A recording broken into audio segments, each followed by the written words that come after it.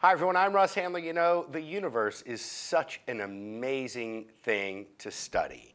First of all, there's what's known as space and time.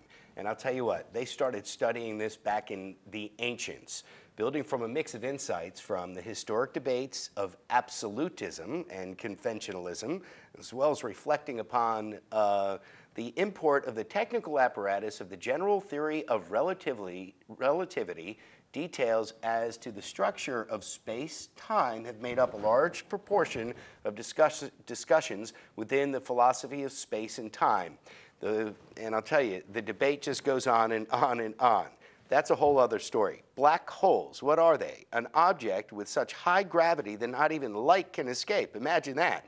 These may be formed when the most massive stars die and their cores collapse into super dense masses. That, my friends, is a black hole. Don't want to get stuck in that.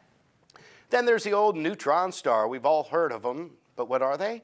They are a small, extremely dense star made primarily of neutrons with a radius of approximately about 10 kilometers. So neutron stars are relatively small. Well, a white dwarf, also another widely known scientific term, it's describing a dying star that has collapsed to approximately the size of Earth and is slowly cooling off, if you could imagine that. So if you're not an astronomer, I hope I've been able to help bring some insight into the questions that we just raised. I'm Russ Handler, and have a great day.